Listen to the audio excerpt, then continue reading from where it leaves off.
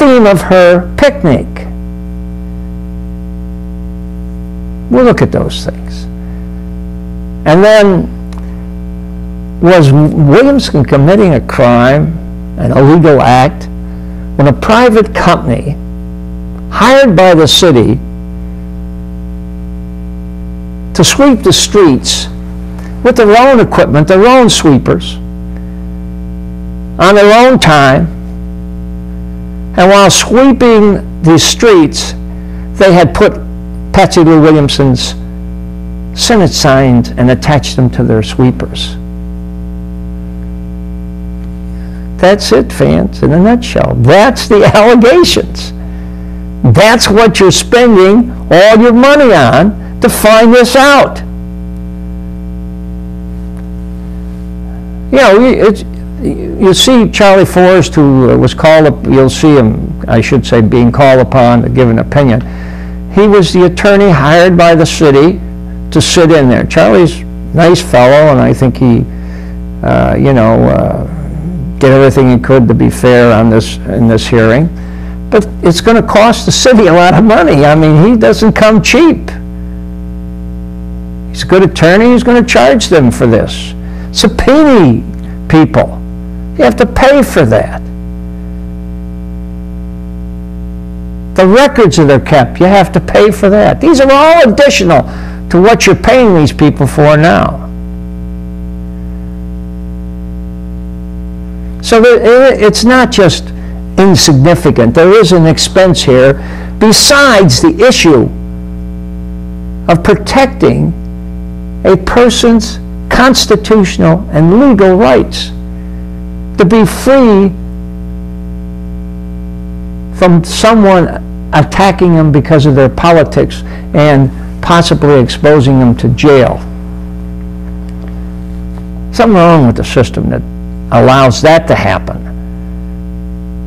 And there's ways to protect against that, fortunately. As I say, the courts and the prosecutors ultimately making a decision on some bad judgments that the council will make. And I don't know whether they're going to make a bad judgment. They still have a chance to decide this.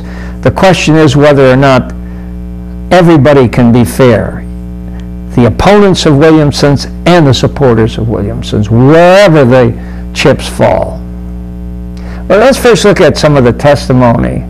They kind of set the tone for the hearings. Uh, let, me, let me show you uh, uh, Mayor Williamson's kind of parting shot when he, after he was testifying. And um, um, typical cheap shot, in my opinion, but let's play that, will you please?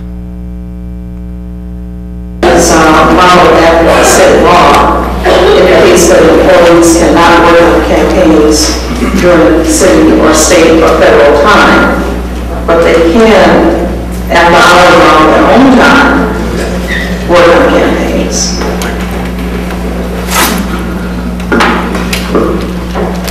Question, please. All right, Bill, we asked the question, if you are a city employees to work in your campaign, and the answer is from the big few. I want you to listen to me very closely. I'm listening. I know of no city employee that worked in my voice campaign or any other campaign that got paid for how they were doing that by the city of You know, any city employees took a vacation day, a leave of absence to work on the wife's campaign. I'm sure they did, but I don't recall which ones. If you'd like to get the information, I'd be happy to it. I appreciate Mr.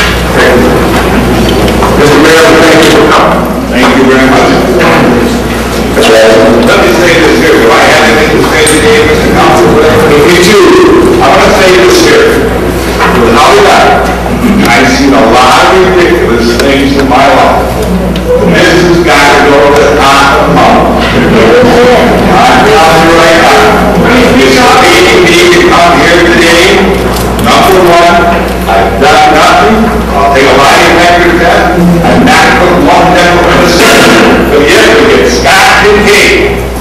I had promised. Oh, God, he will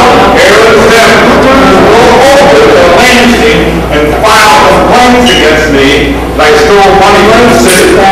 I'm getting a little tired. Thank you. Well, I could understand why he felt kind of uh, contempt for this hearing. Uh, You know, they do constantly take shots at him, but you know, he's his, his own worst enemy, in my opinion. And, but anyway, let's go on. And now, let's look at a witness who was considered by the opposition to Williamson, trying to point out that he had violated the law by using taxpayers' money to promote his wife's campaign.